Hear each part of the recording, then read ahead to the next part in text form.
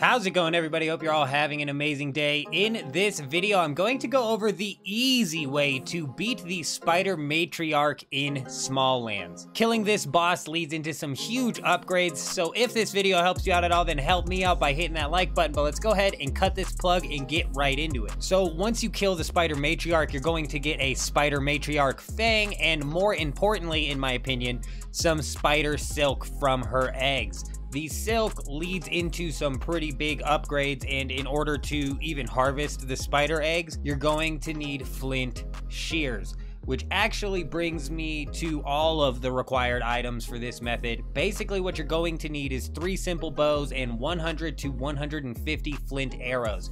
You could also run a mixture of like 100 flint arrows and 80 wood arrows just to play it safe and whatnot, or maybe even like 300 wooden arrows. I don't know. Just have a decent amount of arrows, and, and if you do just wood arrows, you might need more than just three simple bows.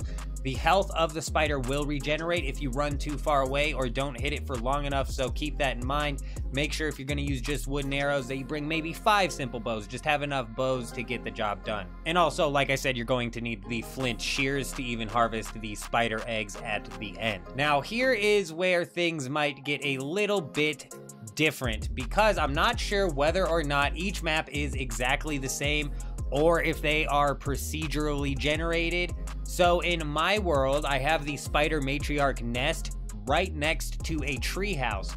And if all of the worlds are the same, then this method is going to work exactly the same. But if the worlds are generated differently, then the method might change just a little bit, but I think that the core concept here will be the same. Essentially, this spider's huge body gets stuck very easily in the branches around her nest and with the surrounding environment. And with just a little bit of high ground, it is easy to get a safe spot. Let me know down in the comments if your world is laid out differently but once the spider is stuck, it's just a matter of two and a half simple bows and 150-ish arrows later, and the boss is down.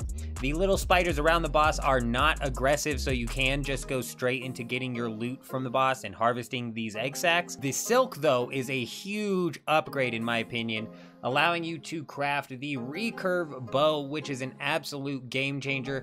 This bow with some flint arrows will two or three shot the Sawyer beetles, which up to this point have been giving me the most trouble. Let me know down in the comments though what weapon you guys are using, but that is all that I wanted to go over in this video. Hope you guys all have an amazing day. I'm out.